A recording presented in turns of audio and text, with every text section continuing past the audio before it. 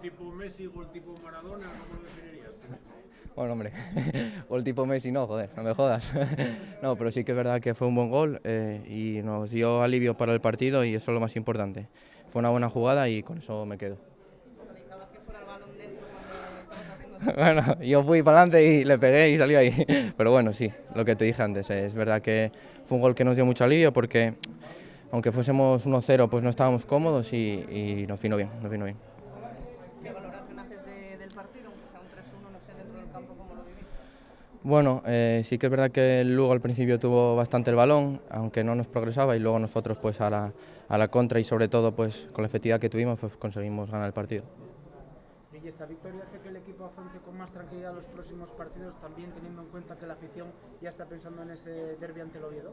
Sí, sin duda, era una victoria que necesitábamos, eh, de no ganar hoy pues nos complicamos muchas cosas y yo creo que ahora estamos tranquilos y vamos a ir a Villarreal ahora a ganar antes del derby.